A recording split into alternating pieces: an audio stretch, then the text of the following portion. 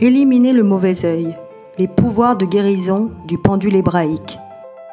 Depuis des siècles, le mauvais œil a été une croyance répandue dans de nombreuses cultures à travers le monde.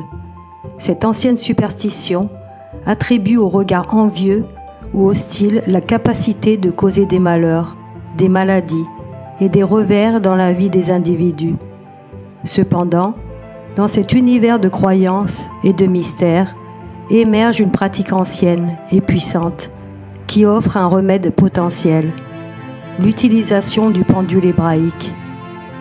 Dans cette vidéo, nous explorerons l'origine du mauvais œil, son impact sur la vie quotidienne et comment le pendule hébraïque peut être utilisé pour éliminer ses effets néfastes. Le mauvais œil, une croyance ancienne. La croyance en l'existence du mauvais œil remonte à l'Antiquité.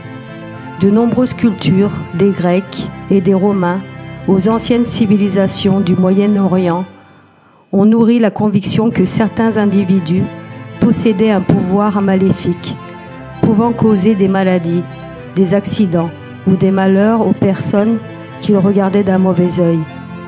Cette croyance a perduré à travers les âges et est encore ancrée dans de nombreuses sociétés du monde moderne. Les effets négatifs du mauvais œil.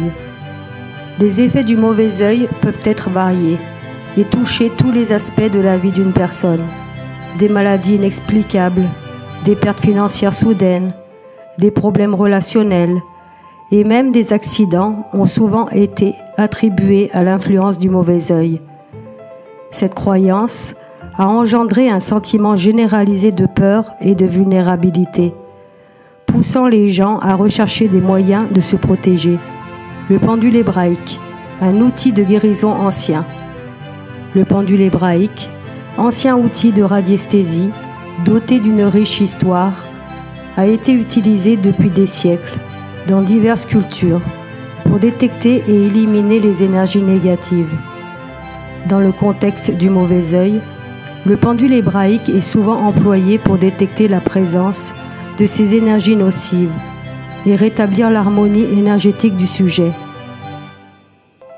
Comment le pendule hébraïque fonctionne-t-il? Le pendule hébraïque est utilisé par des praticiens expérimentés qui possèdent une connaissance approfondie des lettres hébraïques et de leur signification ésotérique.